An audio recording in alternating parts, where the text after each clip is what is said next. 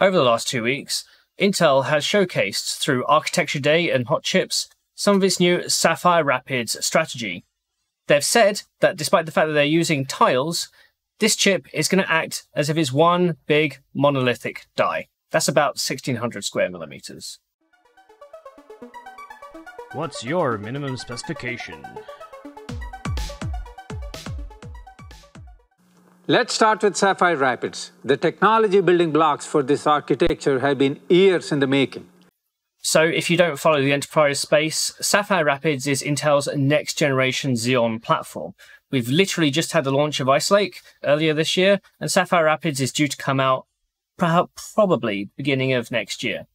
But it's going to be a big step up for the company as they're going to move from a monolithic design that's using one piece of silicon into more chiplet or tile based strategy. Now, Intel here is making a distinction between chiplets and tiles, and it all comes down to how they're binding them together.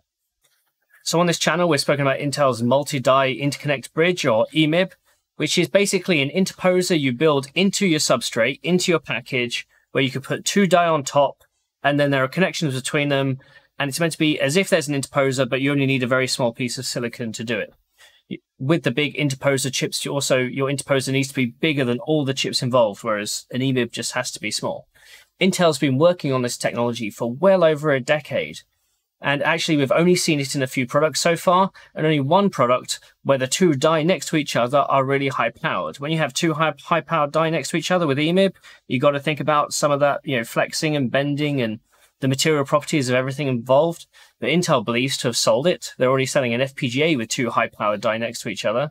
And Sapphire Rapids will use 10 EMIBs, as shown in this picture, between the four compute die.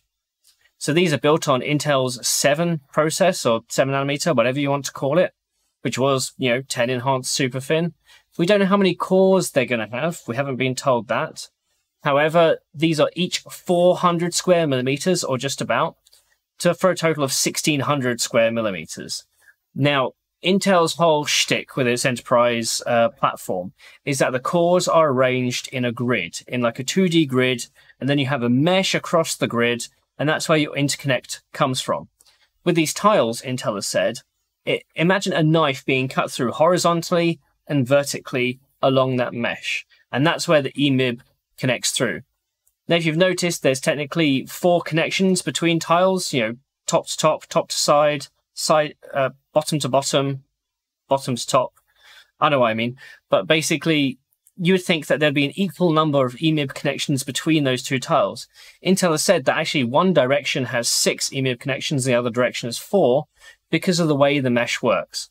Intel has said that each tile will have its cores, its uh, last level cache, but also it's going to have two 64-bit memory controllers. It's going to have some PCIe, it's going to have some I.O., and it's going to have some accelerators. So overall with this chip, we're getting eight 64-bit channels of DDR5. We're getting some amount of PCIe. This is going to be PCIe 5. But also, this chip is going to support CXL. What Intel didn't say at Architecture Day, but they actually mentioned at Hot Chips, was that CXL MEM the memory standard for CXL is not going to be supported. So I'm not sure you can actually say if this chip is a full CXL support, CXL 1.1 support. That's going to be an interesting one to see how they market it. Then again, because CXL is still a nascent technology, we're not expecting to see that many devices built on it just quite yet. Now, don't get me wrong, there's been a lot of jokes being made about Intel's attitude to chiplets, attitude to tiles. Uh, there was one reference to glue back when uh, AMD launched Naples, although you could argue that glue logic is a thing, and here's the Wikipedia page for glue logic. But whatever your horse based binding agent is between chiplets, between tiles, the whole point is that you can make your chips bigger than the single limit, single chip limits that most modern manufacturing processes have. That's about 820 square millimeters. So if you have lots of smaller chips connected together, then you can have what is essentially one big massive chip, and you break through those silicon limits. So AMD's connectivity is done all through the package. That has an associated power and bandwidth related to that. The better way to do it would be through an interposer, which is essentially what Intel is doing here. Intel is saying that their EMIB technology is so good and it's so low latency that the whole chip will act as if it's one big chip. Now you still get sub-NUMA clustering and all this fancy Xeon Enterprise features that you normally get with a big single die. But here Intel is saying just imagine it's one big chip. The problem is Intel has a lot of customers that buy high end, mid range, and low end. In previous years, it would have three different dies to do that. We'd have XCC or extreme core count, HCC, high core count, and LCC, low core count. And the way they do this is just by having three separate dies. You can't really do that here. Intel has said that all Sapphire Rapid CPUs will have eight channels of DDR5 and all the PCIe lanes. But because you're spread, spreading that out across chiplets, either every processor has to have four chiplets or you're going to be doing something different. So what we might see here is your extreme core count uses standard four chiplets, as we've seen in the diagram.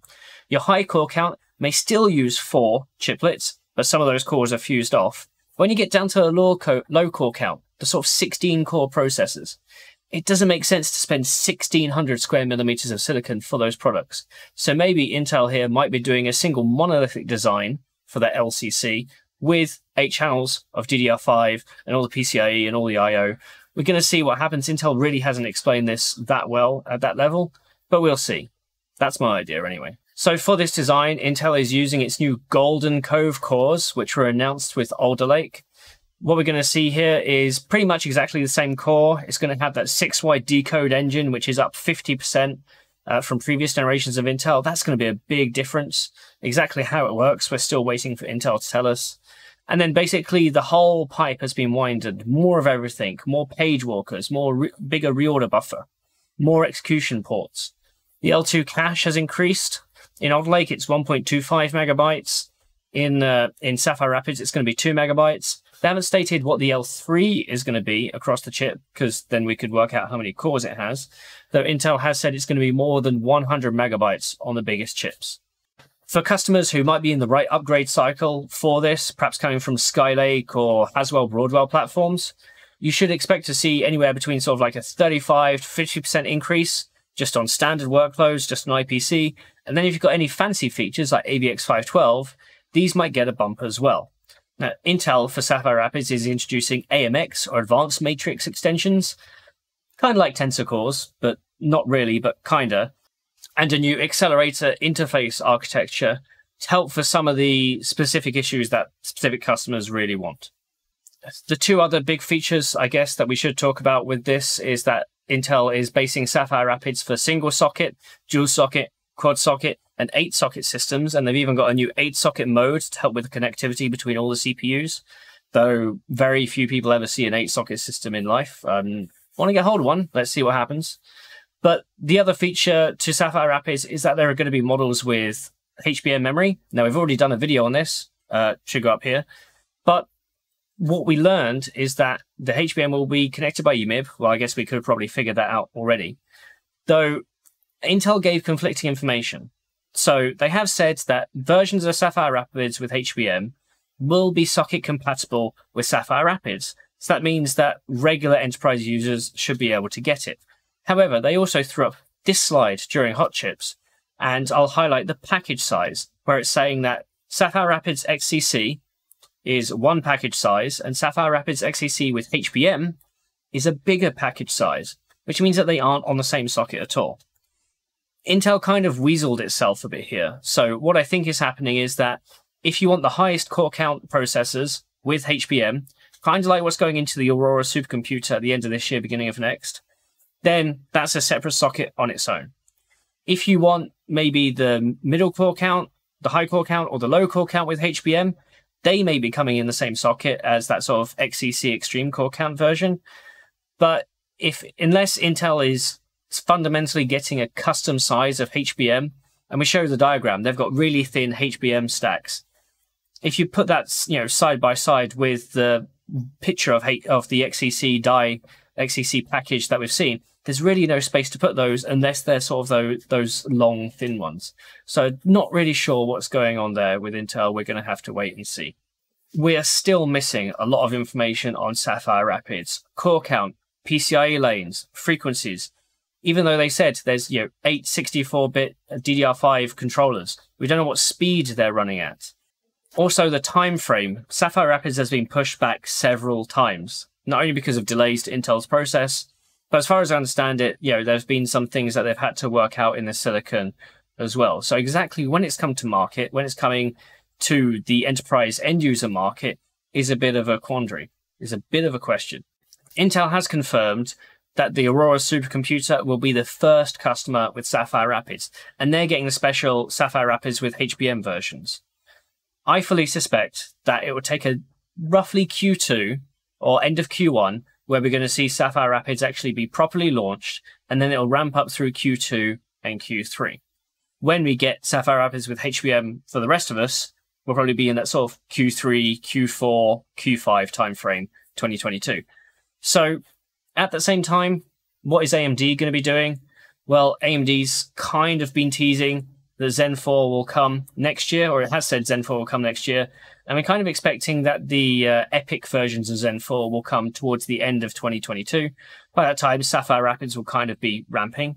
However, there has been talk about this sort of Milan X version, where they're going to have, you know, third generation EPYCs, Milan EPYCs, with this AMD V-cache technology. So you end up with up to 768 megabytes of L3 cache on Milan.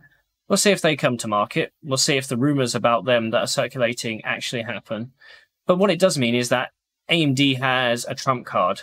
It's essentially that if Intel decide to come to the market with Sapphire Rapids earlier than expected and it performs better than expected, then they can just throw up Milan X, um, though that will kind of eat in to uh, their TSMC wafer allocation. Because don't forget, if your chiplet if your AMD chiplet is about 74 square millimeters, and then your V cache is another 36, you're essentially increasing the amount of silicon that goes into a processor by 50%.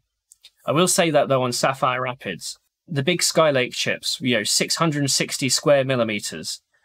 Ice Lake, I don't think we have exact sizes, but maybe it's around that.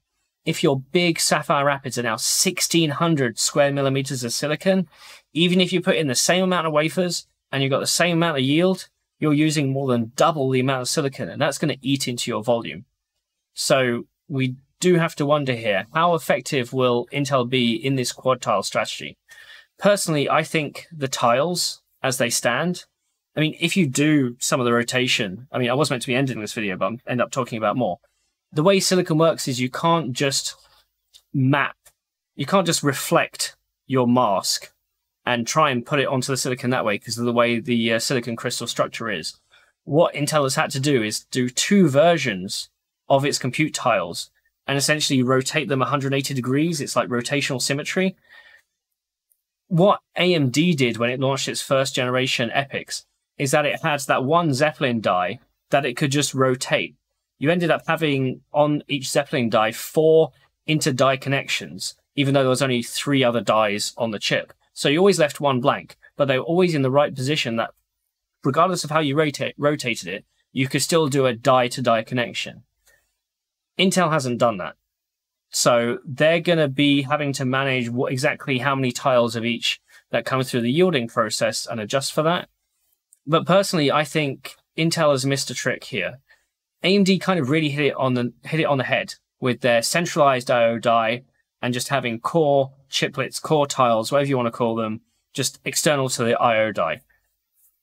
Intel is going to have to move to some sort of strategy like that in the future, especially if they want to make sure that they have versions of their chips with fewer cores, but all the same PCIe lanes and all the same memory channels. That's one up that AMD has here. Now AMD's on its third generation or second, third generation chiplet design.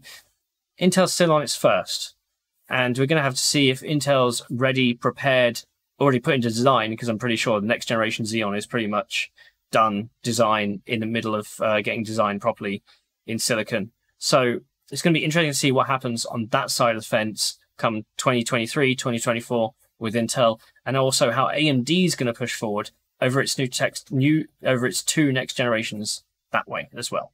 My specification here is that I can't wait to get into test really. I want to see how these tiles work, what the latencies are between them, and if there's any difference in delay. Uh, and we'll see whether putting things through EMIB, through 10 EMIBs, is actually more power efficient than what AMD is doing through the package. It should be on paper, but it also depends on the manufacturing process and all the integration that goes in. So good luck, Intel. We'll see what happens with the results. If you like this content, please don't forget to like and subscribe. We also have now a private Discord server. And if you want access to that, become a Patreon member and it'll instantly add you as long as your emails are linked. You can join the Patreon for as little as $1.50 a month, and it all goes back into helping the channel. Thank you for your support.